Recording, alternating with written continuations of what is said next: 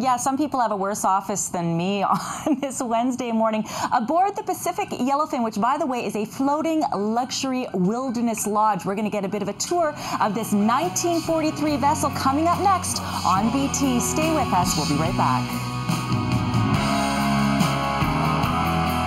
Of luxury, floating luxury here, uh, the Pacific Yellowfin. And Colin, this is truly a beautiful ship. It's Thank an old you. one. It is indeed. It was launched in 1943, Second World War for the United States Army. Excellent. Now we are again we call this a floating lodge, and you and you were just sort of mentioning it sort of is set up like that as well, That's right? Correct. Yeah, it's set up with a selection of hardwoods and softwoods to give it that very comfortable lodge type feel for the Pacific West Coast. And I could see myself, you know, moseying up to the little bar stool, having maybe a little breakfast here in the galley. That's correct. Tell us a little bit about the setup of this as well. Well, the idea is that the chef uh, works in an open galley so that he uh, is constantly with his guests and they watch him cook. And if they catch a salmon, he can sushi it up here right in front of them. And of course, we got some of our crew here yes, as well, we do. too. yes, we have our Dominic and Janine. Welcome. Let's make our way to the stateroom. Um, so, 1943 vessel. It does have quite a long history. That's correct. It worked in the Second World War. Then it was a research vessel.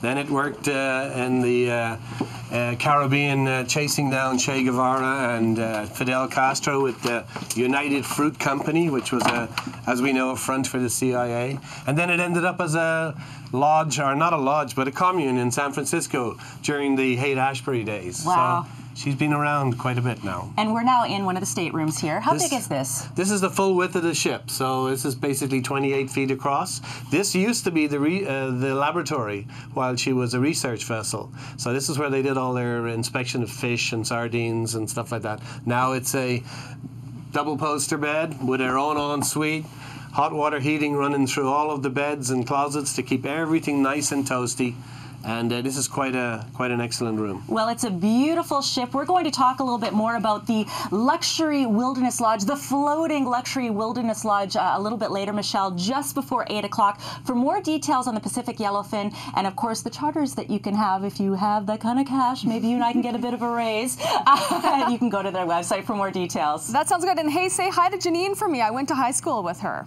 So. She's going to be in the next segment. I will for sure. Yes, on the bow of the Pacific Yellowfin on on Granville Island. Coming up next, we're going to introduce you to a few of the other wilderness lodges of the Magnificent Seven. This is just one of them, and it's a floating one. Stay with us. You're watching BT. It's beautiful aboard. Exactly, and we are aboard the Pacific Yellowfin, which is go. the go, floating luxury wilderness lodge, one of the Magnificent Seven. Janine, uh, how did this kind of concept come to be? Well, they're all independently owned and operated, and all the owners used to run into each other on the uh, travel industry circuit, and they realized they had great synergies between them, and so they formed the Magnificent Seven. Excellent. Now we're going to kind of make our way again to the bow, but let's talk about a few of the other ones. Uh, Nimmo Bay. Okay, so it's uh, located on the edge of the Great Bear Rainforest, and it's uh, a fishing lodge, and they're essentially known for their heli fishing and lots of other experiences, such as paddleboarding with dolphins. And of course, you were just recently at Tweedsmuir. Oh, Tweedsmuir, yep, it's in the Bella Coola Valley, and uh, they also offer um, heli skiing in the winter. I was just there a couple of weeks ago, amazing. And in the summer, grizzly viewing tours. Wow, excellent. Let's talk about Clayoquot Sound. Okay, so it's located up near um, Tofino, up uh, Clayoquot Sound, and it's really like quintessential luxury tented camp with loads of experiences like horseback riding, archery, rock climbing, you name it. And these are just a few. Thanks very much, Janine. These are just a few. Of course, there are seven. Of course, we are aboard the floating uh, wilderness lodge. Now, the point here, Colin, is that you bring everything people need, right? That's correct. You don't need to bring one single thing with you. We have six motorbikes, 12 mountain bikes, 12 kayaks, paddleboards, every toy that you can bring with you, fishing gear, rain gear, boots, Wellingtons, the whole shamals. The whole shamals. All right. Well, thank you very much. For more details on the Magnificent Seven, you can go to magnificent7.ca. And for more details on the Pacific Yellowfin, which is quite the ship, Jody, you can check out their website as well. We are now, uh, Colin, in the main engine room. That's correct. We're in the main engine room, and we have twin Atlas Imperial engines here, built in 1943, California. They are the originals to the ship, and Jack, our engineer here, takes great care of them, and they're in fine condition. Can we start it up? You betcha. All right, Dominic.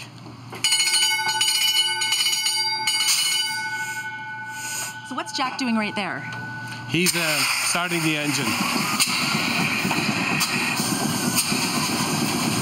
So what we have now are the rockers are all moving.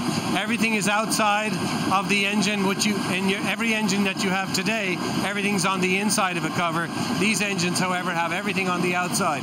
So everything has to be oiled and greased every four hours.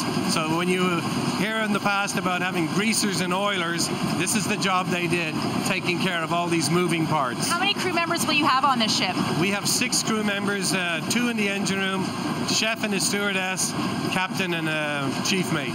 Excellent, and hopefully I try to stay out of the way here. For more details on the Pacific Yellowfin, you can go to their website. More details on the Magnificent Seven. Go to magnificent7.ca. Jody and Kyle, isn't this cool? Yeah, now on the bridge of the Pacific Yellowfin, and I wonder uh, if I have to go 10 and 2 with this. I'm not sure. We're going to find out from the captain himself up next on BT. Stay with us. We're aboard the Pacific Yellowfin, hanging out on Granville Island. It's we can call it a ship.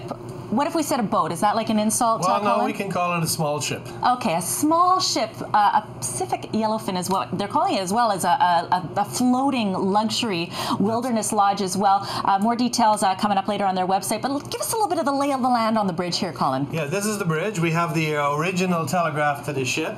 So gives all the instructions down to the engine room. It still works great.